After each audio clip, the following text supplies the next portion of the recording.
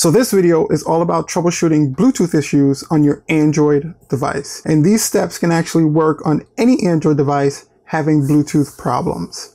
So let the download begin.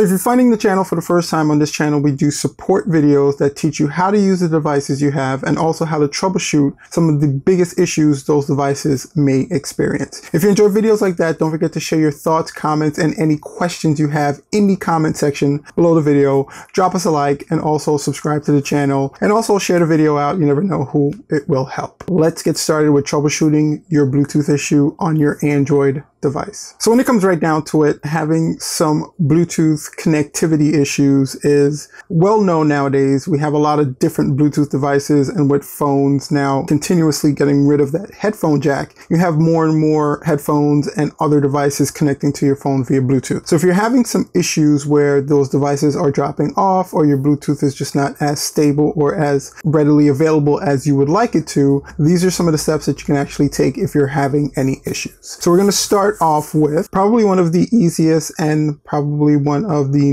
least technical ways to troubleshoot it is just simply turning the Bluetooth off and turning it back on. And with Android devices that can be in different areas. So on the majority of Android devices, in order to toggle your Bluetooth on and off, you simply just have to swipe down from the top and then you're going to have your Bluetooth settings there. And that's probably the easiest way to just turn off Bluetooth wait a couple of seconds, turn it back on.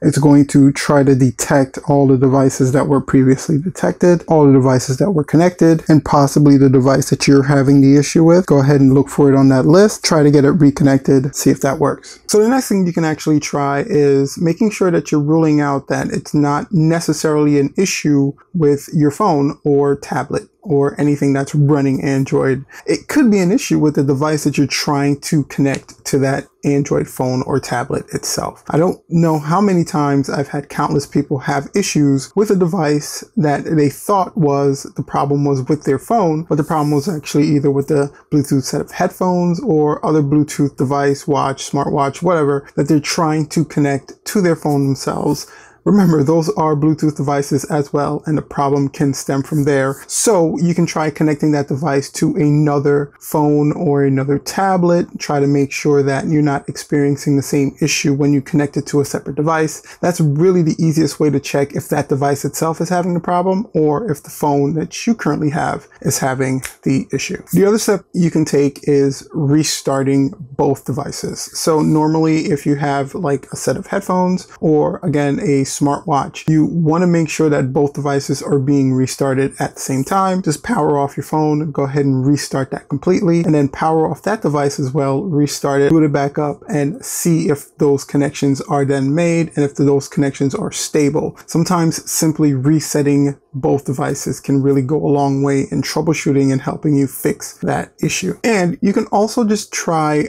unpairing that device. So removing it from your Bluetooth list and also just removing any older devices from your Bluetooth list as well. So with the Bluetooth menu, in order to check the paired devices that you have, you just swipe down from the top to get to your quick settings and then you see your Bluetooth option here. But this time if you press and hold it, you're going to go into a menu that's going to show all the Bluetooth devices that are currently paired or have been paired to this particular device. Now, what you want to do is you can find either the device that you're having the issue with and remove it, or you can find some of the older devices that are there that can, can be causing an issue and remove those as well. And you're just going to hit that little cog right next to it, and you're going to have that unpaired option there. So if you just hit that unpaired option, it's going to automatically unpair that device from your Android device, and then you can go ahead and try to repair the device that you're having the issue with. Uh, I know a lot of the times we pair devices, we get rid of devices, we trade in devices, but we leave those paired devices on your Bluetooth list. That list can become congested.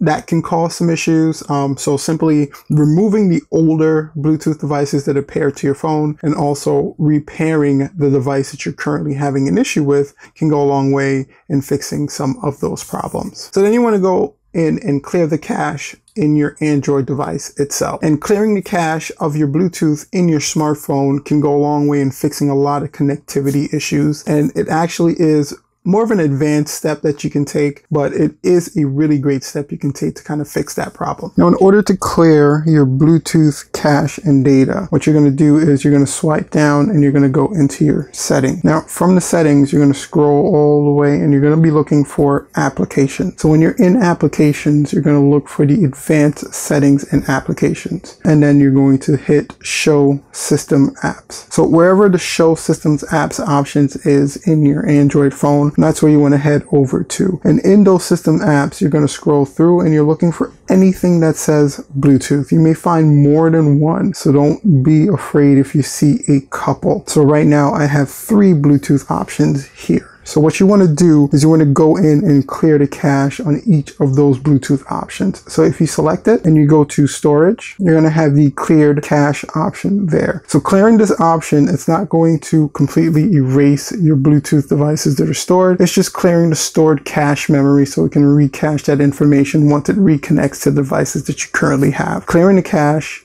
is an awesome, awesome advanced troubleshooting step you can take. Making sure the software is updated on both devices is definitely a big step you can take. A lot of the times, many people have these issues and report them to the companies that are in charge of updating these devices. Um, you may think that your issue is just happening to you, but it could be happening to thousands of people. The companies then roll in fixes into these software patches and updates and they roll them out to these devices. So if your device is behind a patch or two, there may be a fix in these patches that have already been deployed that you're just just not taking advantage of. So make sure that your software on both devices is updated as possible. And of course, factory resetting your device, the kill switch, the nuclear option. Um, if you're having an issue still with your Bluetooth after taking all of these steps, resetting your Android device, just doing a complete wipe, a complete factory reset. You want to make sure you back up your data first. That's always the very most important thing that you can do before you reset anything.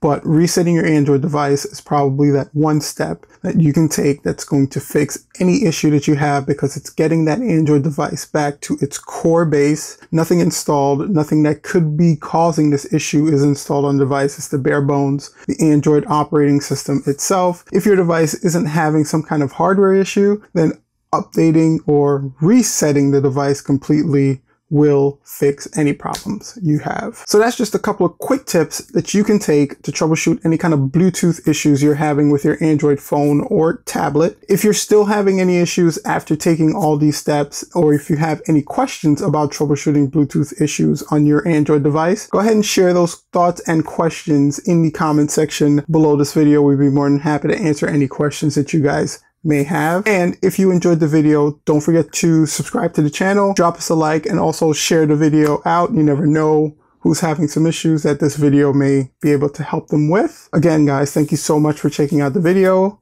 And until next time, peace.